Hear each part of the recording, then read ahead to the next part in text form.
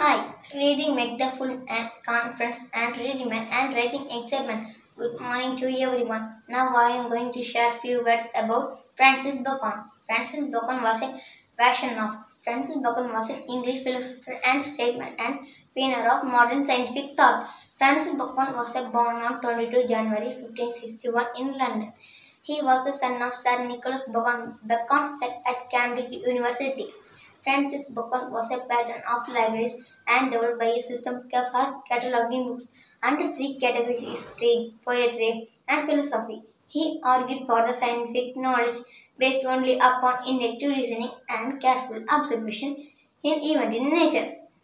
According to Francis Bacon, learning and knowledge derive from the basis of inductive reasoning. Bacon was the first recipient of the Queen Counsel designation in 1597 when Elizabeth, one of the first England, reserved him as her legal advisor.